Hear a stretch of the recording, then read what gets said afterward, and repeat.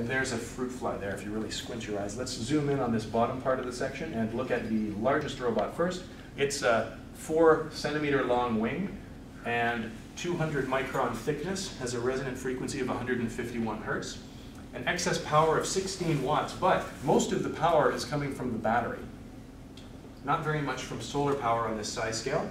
So while it can fly very fast, it can't do it for very long.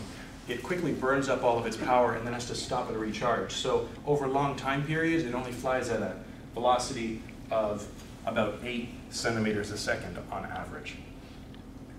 Looking at the opposite size uh, end of the size spectrum here, the smallest robot is about the same size as a fruit fly, a little bit shorter wings actually, length of 1.3 millimeters, and we're ending up with 0.4 milligram mass. This robot has a fair bit of solar power for the amount of power that it's needing, but unfortunately, on this small size scale, we're into the Reynolds number regime where flight's not as optimal as it was at larger Reynolds numbers.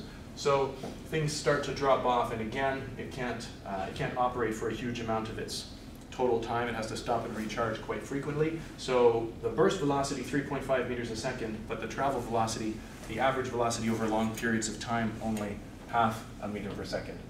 You can get 1,800 robots from a single 4-inch wafer with this design, though.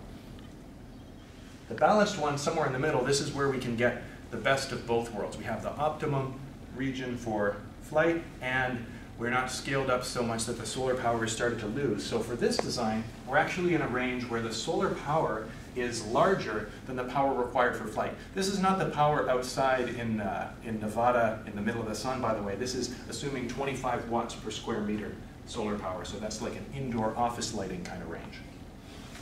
This one has an average velocity of 2 meters per second, and you can still get 41 robots per 4-inch wafer. Okay, that's pretty impressive. So now the question is not so much, well, does this lead to interesting robots? It's more, does it actually work? I mean, come on, Matt, is this a success? Are you really pulling our leg here? What's going on? Is this, a, is, is this theory correct? So let's test it.